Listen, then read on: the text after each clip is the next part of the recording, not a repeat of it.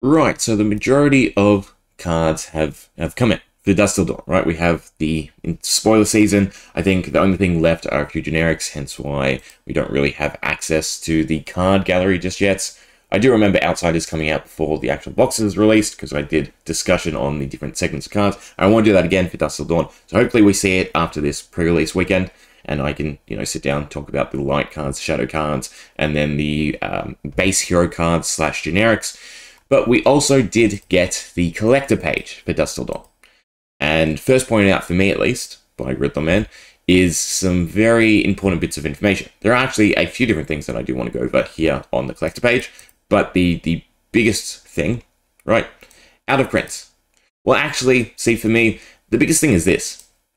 April 2023 right? So again, out of print in April 2023 or from April 2023, right? That's that's the line of thought to have. What does this mean for the serialized art cards? Okay. Again, a, a big thing I always want to be is objective. The Dusk Till Dawn article, right, revealing the set, came out May 1st. In this article, the serialized art cards were emphasized to only be in the Belgium printing of the product. It wasn't till the mid to end of May, right, 23rd, that we got the update regarding the serialized art cards and their placement into the Japanese printing. Now, it's still the same volume of cards, 10 copies of each, right? So hopefully what this means is that Legend Story Studios went through the painstaking trouble to, you know, correct their first idea and have these cards inserted into the Japanese printing. But it is it is a bit curious to me, right? Because again, I want to be objective, and in all seriousness, it is something we we should probably discuss. Was their intention straight away to have it in both printings? Because again, if we look at the dates, right? So Dusk Till Dawn is started to be printed in April, early April to end of April. If you say end of April, it makes a bit more sense, right? So we have printing from April all the way to May when the article is released, and then they come up with the idea, well, we're going to insert them into both boxes, so they correct the Japanese printing. So rather than being date printed April, it's really date printed May, right? So the majority of it was printed, sorted, and packaged in May. That is what works for the article. Now, I can also see the article not coming out until they've done quality control and they've had the, the cards inserted into the boxes.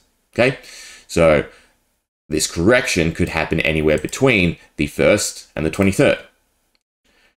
But, again, to be objective, this is not something you would ever see a, a big company really try to do.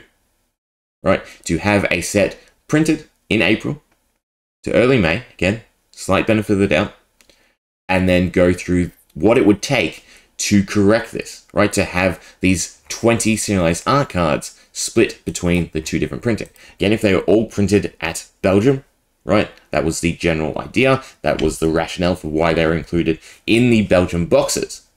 Then, in this time frame, they have split them up, taken a few, gone to the Japanese printing, and gave them to them. Or, to some degree, told the Belgian printing to axe X cards and have the Japanese printing print X cards. All of these scenarios are a lot of work, right? So given Legend Story Studios' track record, I, I do fully believe that they went through hell, right, to get this to function. Given their initial premise, what they released when they first talked about the set, and to this point now, May 23rd, where we have it in both printings, right? They went, they moved heaven and earth, essentially, to correct their, their choice in printing right? I'm more than happy to say that. But you still also need to look at it at the other angle, right? There is a lot of planning and preparation that goes into something like this. So to have the print date revealed as April, the articles revealed as May, and then the correction revealed three weeks later, there is some thought there that, you know, when, when the set was first announced, maybe, that they had thought about it and they were thinking about it and they were on the fence and they were planning for it to be in both sets, right? And they just had to stick with it until they were absolutely sure it had worked. So that was the case for the initial version of the article.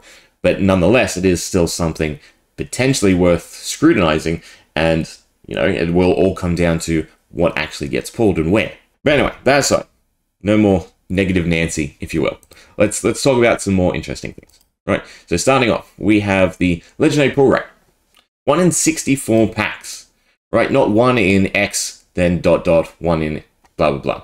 We don't have the distinction between the cold foils and the and the rainbow foils, which is interesting to me. Right. So on Dynasty, the other supplemental set, quote unquote. I don't like calling Dusk Till Dawn a supplemental set anymore because it's it's not really a supplemental set. It is a small set, but it is not a, a supplemental set because to me, supplemental has to expand all areas of play, and this just is an enabler for the new Prism and Vynnset more so than anything. Right? It has sure some cards to uh, expand upon constructed formats, but it does primarily feature these four heroes. So yeah, so eight legendaries, one in 64. Well, if we did the math, for instance, off of the Dynasty pull rates, right? So 1 in 88 versus 1 in 280. Well, if you were to add them all up, okay? So uh, it's like 3.18. If you were to divide 280 by 88 and stick them together, so 4.18 divided by 280, right? So that's how many rainbow foils slash cold foils you would find in 280 packs. Well, you get the pull rate per legendary of 66. So this this does work as a ratio of the two. I would not be upset though if this was the ratio of rainbow foils and they're keeping the cold foil legendaries a little bit secret. Again, I, I would heavily emphasize that I, I would want rainbow foil legendaries easier to pull and cold foil legendaries significantly harder to pull right? Having a legendary one or two boxes is completely fine with me on the Rainbow Foil side, because again, they are so critical to play that, again, we I want a stronger incentive to open smaller quantities of boxes, even if they become, you know, $20 cards all around.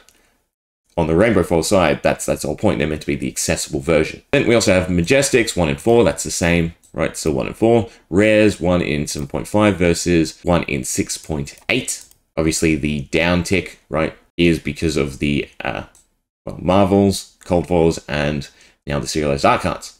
So, interestingly, right, if you were somewhat insane, you could do the math and you could work out the pull rates, right, from from these. If you were to, you know, evaluate the Marvels off of previous sets, the Fabled off of previous sets, you could work out the the breakdown right? The change in the rares by these these 10 cards. And you could use that to then calculate the print size. So actually that's that's a challenge for anyone watching, right? You got the ratios here. I know these are blank, but there are there are relatively good values that, that people have found.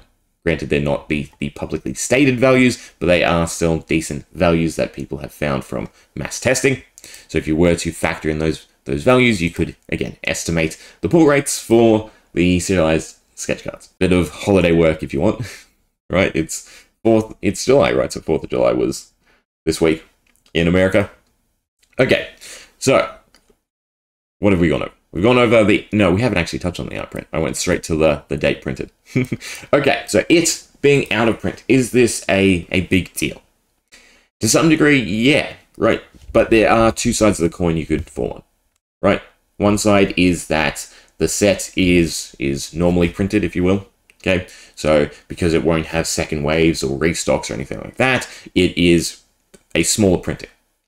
I think the more rational thought to have is that to compensate for it being out of print all at once, it is it is largely printed, right? It's going to be a, a proper estimate for what they think is the current level of uh, Fab 2.0 boxes, if you will, right? So the total population that uh, Uprising Outsiders and Dynasty will end up with. They've estimated and they've printed that amount of Dusk Till Dawn boxes straight away. A large printing volume also, again, ties back into the date printed, right? This being a from rather than it all being in April. Okay, so April to May, they have continued to print, and we have ended up with a larger volume in total of boxes from the get go.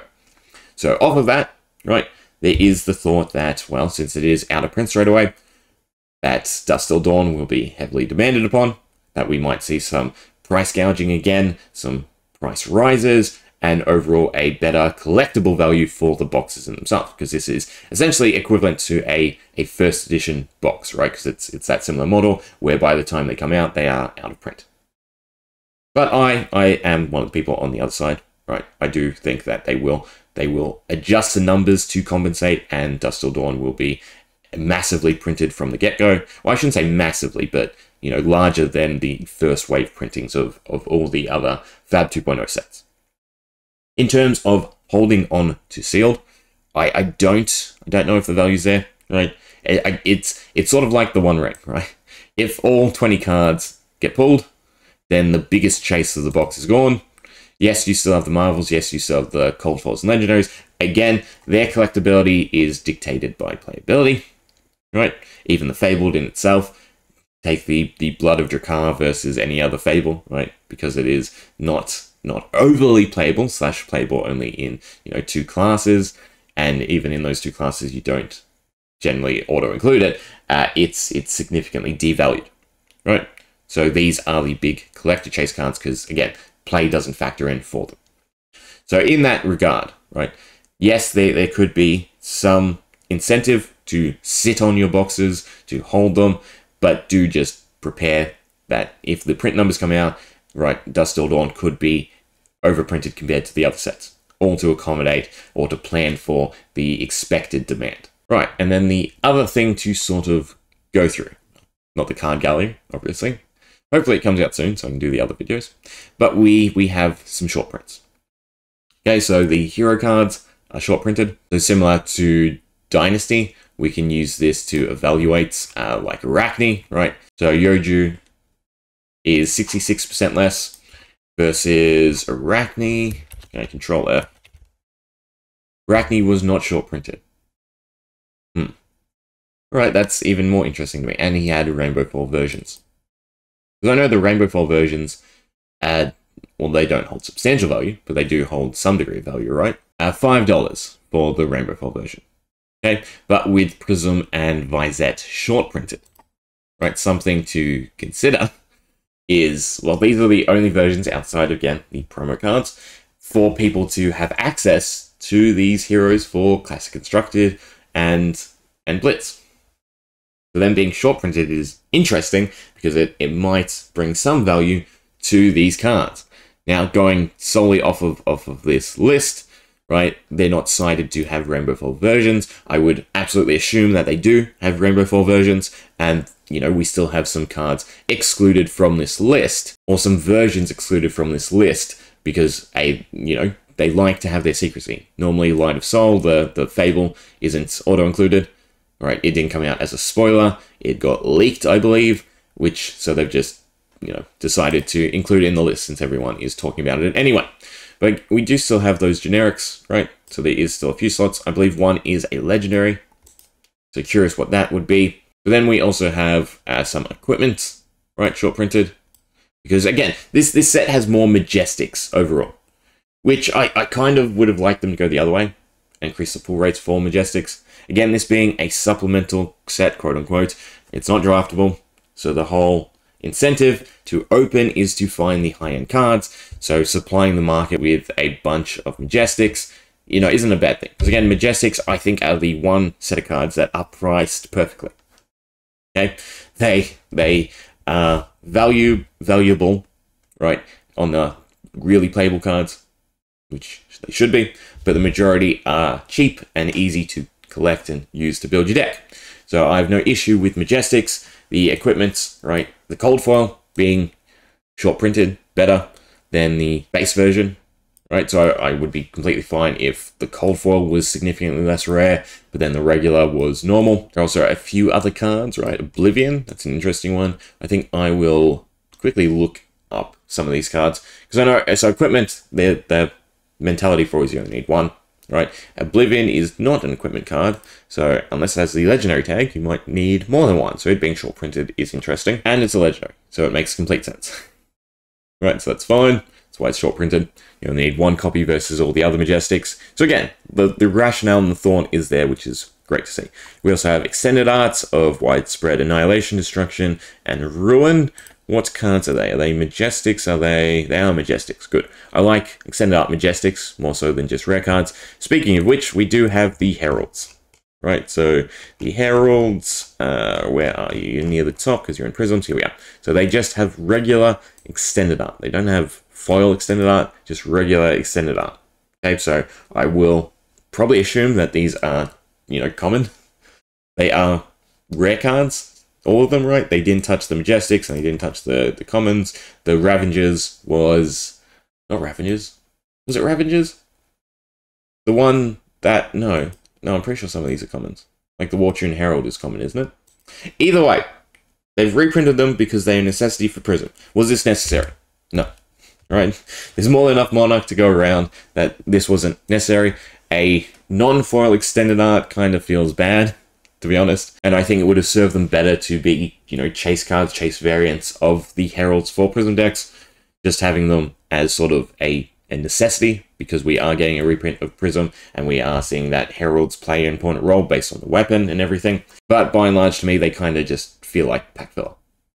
Whether or not they are valued higher or lower than the other versions, right? I, I sort of assume they'd slot between, so it'd go like first edition Rainbow Foil, uh, maybe extended art, then unlimited rainbow foil, and then all the just normal versions, right? They definitely have to slot above the normal versions, despite Monarch being older. Either way, it, it does still seem like there is a decent amount of, just bulk, right, in the in the set. Again, I would love to see this number of rares cut down, right? Make it one to less. Even cut down the commons. A supplemental set doesn't have to be 10 right? There's no point to draft it. I would be completely fine in, you know, having less of a job of sorting, maybe even getting a slight discount on the supplemental sets because there are less cards that make them up, or just having a, a larger larger pack count. Now, there are always some great commons and rares, right, that are needed, but there are still going to be always and forever with any set that comes out because it's it's just you know something that has to happen bulk cards and in a supplemental set, again, that isn't draftable, you know, if we could do away with them, sort of head towards the Yu-Gi-Oh! territory of their, their collector rare sets, whatever you want to call it. I think, like, what they, Legendary Duelist, or I feel like they're called collector rare or something like that. I know that's a rarity. But anyway, just going down that, that line of thought where we cut out the bulk from these sets, I'd be completely fine with it. Anyway, we'll, we'll leave it there. Those were the big talking points, the out of print and the date printed. Again, given their track record, I'm more than happy to, to say that they went through hell on earth to get these cards into both printings. It's still worth a thought. Anyway, hope you enjoyed. See ya.